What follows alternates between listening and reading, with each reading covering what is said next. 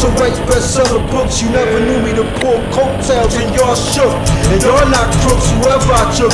Better pray the two don't spray. I wrote y'all handbooks on how to hustle hard, keep up your guard, playing your card. I never heard of y'all cowards, honest to God. Yes, men, I see him grin, sipping my hand with the toast, checking my post with a bad lesbian, full of estrogen, holiday Inn, Niggas don't know me, not my Cody, I'ma say it again.